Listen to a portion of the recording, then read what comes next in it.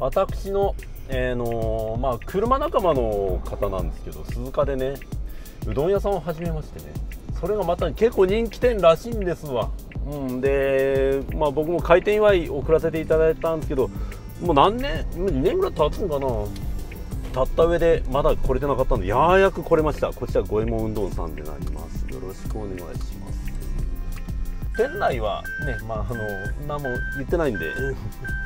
突然来たような感じなんで店内紹介するわけではないというかざっくり日記的な感じなんで軽く見てやってください。砂砂肝だそうですね。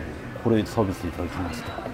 で今回はえー、おろしえじゃあエビ天おろしうどんとなります。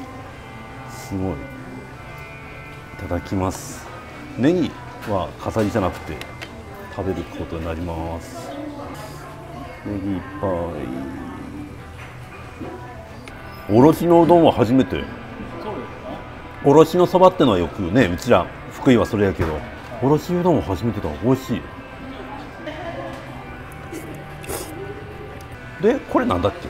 砂肝こういうのを出してくるからすごいビール飲みたくなるんだよね。めちゃくちゃ。困るん？だよう。ん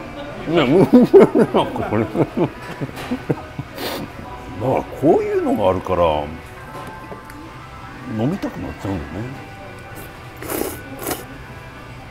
すごいボリューミー。混ぜてくるとまたうまい。す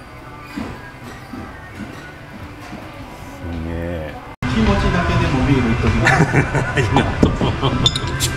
どうぞ。ありがとうございます。やばいやばい。いただきました。やっぱねアルコールはないとしてもやっぱこういうのが欲しくなりますよね。何居酒屋じゃねえか。エビ。でかい。でかくね？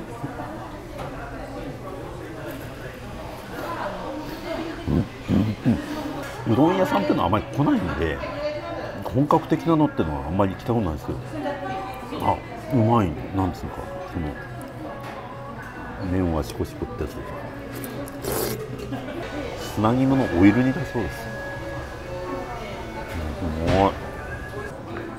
もうお腹いっぱいだめちゃくちゃボリュームがある、うん、居酒屋のメニューみたいなのがいっぱいあって。結構これは飲みに来たくなり夜なんか居酒屋さんって感じなのかって。思っちゃうんですよね。ここでいうと一品料理でいうと穴子天ぷらとか鶏ロースとかポテトサラダおぼろ豆腐とかあって。まあオプションで、まあ、しいたけ天ってのはこれいいとしてありますよね。いわし寿司ってのがすごい気になるんですけどまあちょっともうお腹いっぱいですいませんけどアスパラ天ってやつかな。ってのもなんかすごい気になるんですけどね、うん、これは裏メニューです。うわすごい。僕はこのこっちが好きなんですね。うーん。うまい。うまい。めちゃくちゃうまい。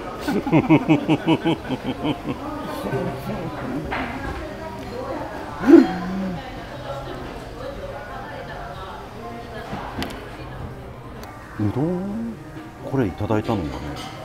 うどんってそんなになんかお腹張らない気がするんですけどうんめっちゃこれだけでもお腹いっぱいです本当ねめちゃくちゃ美味しかったし。ぜひとも今度は山菜うどんとやらを食ってみたいなと思うのと一品料理でその酒を飲みに行きたいですね。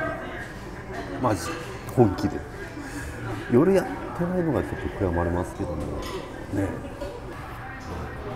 お久しぶりがあって元気そうでよかったっすよありがとうございました。頑張って。また今度来ますわ。うん今度また飲みに来ますわ。ありがとう。はい美味しいございました。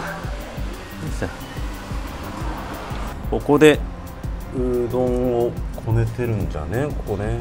今いないけど。はいこのような感じで。